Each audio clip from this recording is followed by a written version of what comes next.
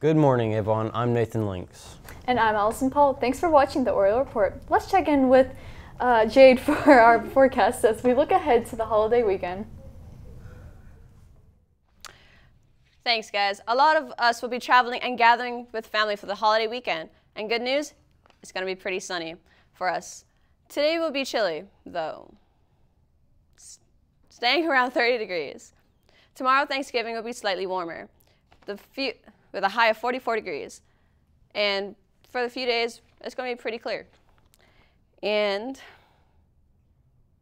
yeah, so enjoy the time. Okay. The Avon cheerleading team is having co-ed tryouts when we return to school Monday. This is for the year's basketball season. For boys who are interested in trying out, meet in the Upper East Gym above the main gym for from 3 to 5. Again, that's on Monday. In sports, the Avon wrestling team got off to a great start with 55 to 14 win over Plainfield. Today, the, our girls JV and varsity basketball teams hit the road. They are heading to Plainfield tonight. JV tips off at 6 p.m. Varsity hits the court at 7:30. Good luck. Thanksgiving is tomorrow, so we want to know what are you thankful for? I'm thankful for turkey, stuffing, mashed potatoes. I'm thankful for my mom, my friends, uh, smoked sausage, pumpkin pie, turkey on Thanksgiving. I'm thankful for all the beautiful women here at Avon High School. I'm thankful for nice, juicy honey baked ham. Family. My job. Health. Technology. Music. Education. Parents. Friends. Shelter. Holiday's almost here. Will you shop Black Friday or Cyber Monday to get the must-have items of the year? Cyber Monday just around the corner. Teachers at AHS have something to say about the holiday. You can get some really good deals, but sometimes they're actually better right before Thanksgiving. They can have dramatic effects. A lot of people will do their shopping more online versus actually going to the store. So some of stores have actually had to close because of that a lot of times it takes people away from the holidays. So they're spending more time shopping because some people actually start on Thanksgiving instead of actually being thankful for what they have. They actually just go shopping and maybe some of them get into fights, things like that. Where Cyber Monday, you don't have to deal with people so much. You can go online and and it's a lot easier. It, start, it seems like it starts earlier and earlier every year, and it'd be nice if it would actually kind of not start on Thanksgiving. That would be great. My opinion of Cyber Monday is that it is a marketing tool for businesses to use to capitalize on those people who do not want to go to the store. The effects of Black Friday and Cyber Monday obviously are to boost sales.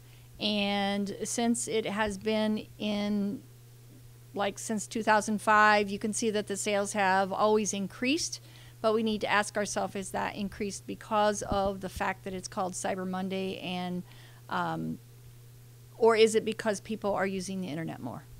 I enjoy Cyber Monday so I can sit in the comfort of my own home and shop and not deal with the crowds and um, pushing and fighting. And no, I don't want to do that. It's kind of sad that we don't want to visit the stores during the holiday season, but I'll still visit the stores just to shop uh, or just to visit if I'm not shopping.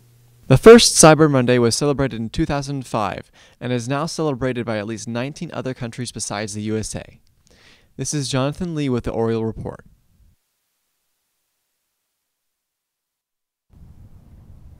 We know it's a big weekend for shopping, but have you heard of a Shop Local Saturday?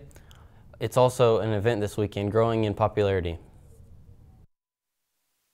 This Saturday is Shop Local Day. Local store owner Tiffany Wallace talks about the importance of shopping local.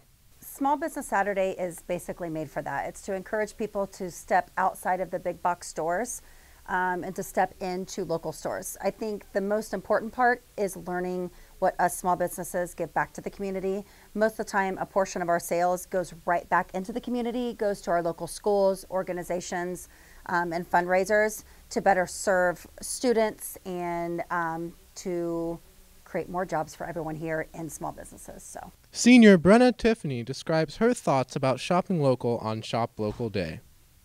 Black Friday is so big because everything is so extremely cheap. And I think that the problem is with a lot of local like stores and things like that, their products have to be a little bit more expensive than like big companies like JCPenney or Kohl's or things like that because they have to make those things. This year during Shop Local Day, the local stores around the county have a special event going on. Store owner Wallace tells us what the event is. Everyone that buys a ticket, it's $25. Um, and what happens then is we've, uh, all of us small businesses have paid to charter a bus for people. So it gets everyone a light breakfast before they leave. You get to visit, I believe there are 12 of us. So you get to visit 12 local small businesses. Um, and we drive you around all day, feed you lunch, drinks, and all that fun stuff. And then you get to go to each location. Each location will have a special sale just for the people that have purchased um, a ticket to be on the bus. And you get um, swag bags that might have different um, prizes and gifts and stuff like that in it. So it's just a really fun way to interact with the community to be able to get you to different stores that you might not have visited on your own. For AHS News, I'm Christian Steiner. This That's all for your Oriole Report. Have a fantastic holiday break, Avon. We'll see you back next week.